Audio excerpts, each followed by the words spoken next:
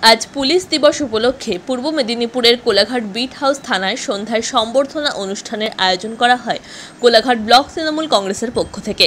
বর্তমান করোনা মোকাবিলায় সর্বোচ্চ পুলিশের ভূমিকা অনস্বীকার্য।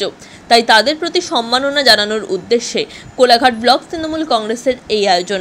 এদিন কোলাঘাট বিট হাউস থানার আইসি সমর মিশ্র সহ সমস্ত পুলিশ আধিকারিক ও সিভিক ভলেন্টিয়ারদের সম্মাননা জ্ঞাপন করেন পশ্চিমবঙ্গ সরকারের ক্ষুদ্র ও ক্ষুদ্র শিল্প উন্নয়ন নিগমের চেয়ারম্যান তথা কোলাঘাটের প্রাক্তন বিধায়ক বিপ্লব রায়চৌধুরী, জেলা পরিষদের সদস্য গৌরমোহন দাস ঠাকুর, তৃণমূল নেতা মদন মিশ্র, উজ্জ্বল ভট্টাচার্য সহ স্থানীয় নেতৃত্ববৃন্দ।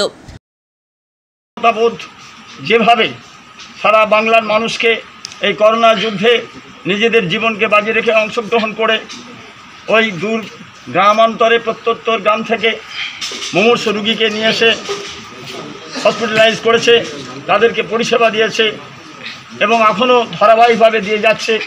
এর জন্যে আমরা পশ্চিমবঙ্গের সর্বস্তরের মানুষ, আমরা কৃতজ্ঞ।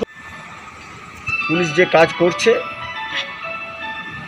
আড়ালে আবডালে কান পাতলে টুকিটাকি কিছু কথা শোনা যায়, সেগুলোকে বাদ দিয়ে সেগুলোকে হাসিয়ে দিয়ে।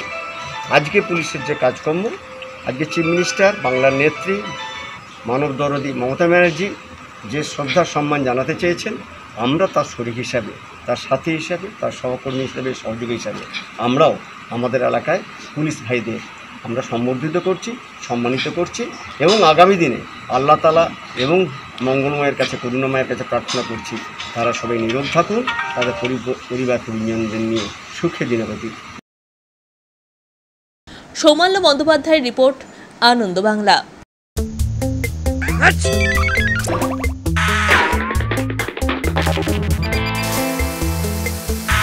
Book your sanitizer tunnel here.